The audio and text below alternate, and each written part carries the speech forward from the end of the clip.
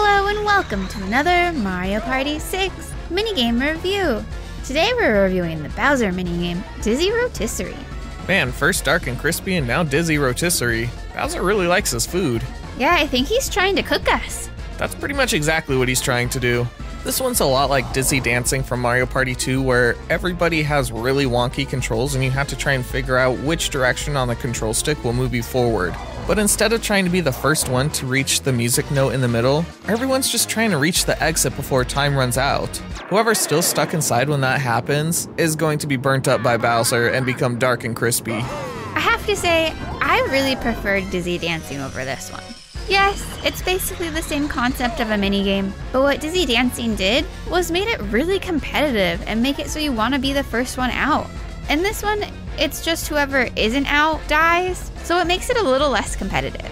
Yeah, I agree. Basically, this minigame boils down to figuring out which direction is straight on your control stick at the beginning, and then just moving in that direction until you reach the doorway. I never really felt like there was a lot of challenge to this one. I mean, you'd kind of have to move around a few obstacles in the room, but other than that, there's not a whole lot of excitement. Once you figure out the right direction of your control stick, you pretty much have the minigame figured out, and I don't think there's a single time where we weren't able to win this one. It was pretty easy.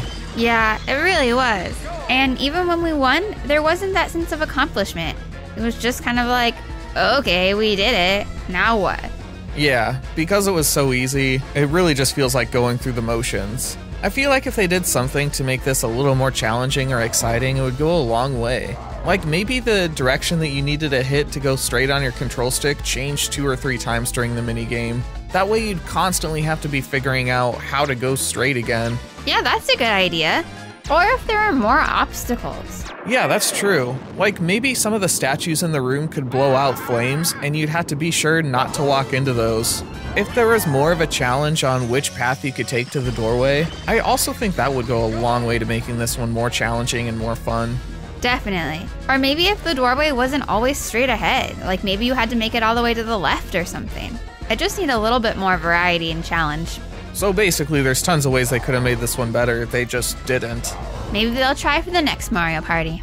And overall, I think that about sums this one up. If you like Dizzy Dancing, I guess this one is kind of comparable and fun, although we definitely preferred that one over this one. There's just not enough of a challenge to this one. More than likely, you'll win this one every time once you figure out which direction is straight on your control stick. And since there's really nothing else going on in this one, it becomes pretty forgettable. I wish it was more fun, but it really isn't, so we're giving it 3 stars out of 5. Well, that's it for today. If you enjoyed this review, please like, subscribe, and hit the bell. Up next, we'll be reviewing Dusk Till Dawn. Another one about chores. How great! Yippee! Looking forward to it. If you want to see what this minigame's about, come back for our next video. Hope, to, see, you then. Finish!